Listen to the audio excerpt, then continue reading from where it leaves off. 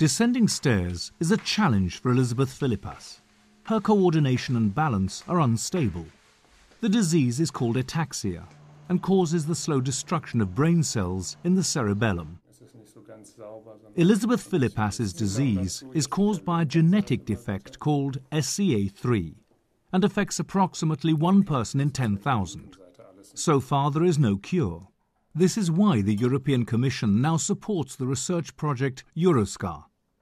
In a first effort, scientists have created the world's largest database with 3,300 patients.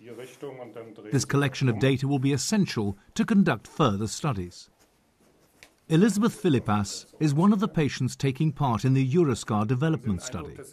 Thomas Klockgether from the University Hospital Bonn tests her coordination abilities on a regular basis. The data will help us to understand how the illness develops. Patients normally notice the first signs of ataxia in their 30s or 40s. Ich äh, habe Bauchtanz angefangen, das war 1900. I started to belly dance in 1998, but then my trainer noticed that I had problems with my balance. This was the moment when I decided to have myself tested. habe ich mich dann testen lassen. The risk of inheriting the disease is 50% if you're a direct descendant of a carrier. Elizabeth Philippas knew about her risk as her mother and grandfather had also been affected. Mice at the University Hospital Tübingen provide scientists with an inside view of the disease.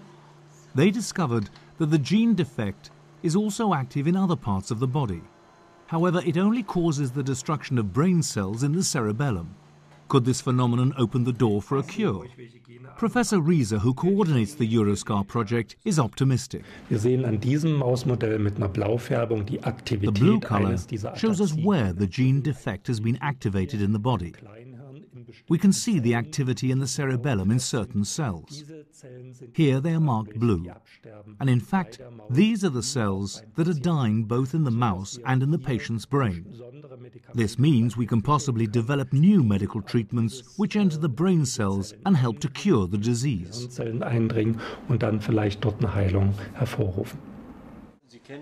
As there is no cure at the moment, Elizabeth Philippas does not have too many options but to support the scientists in their efforts to understand the disease in every detail. This means she also comes regularly for a magnetic resonance scan. Images of her cerebellum will help scientists to understand if and how her brain is changing. Während der EUROSCA-Förderung During the EUROSCA support, we discovered substances that also occur naturally in celery or parsley. In cell studies, we've shown that these substances can stop the destruction of cells triggered by the gene defect. Using these substances, we should be able to conduct clinical studies with SCA3 patients and possibly help to increase their life expectancy significantly.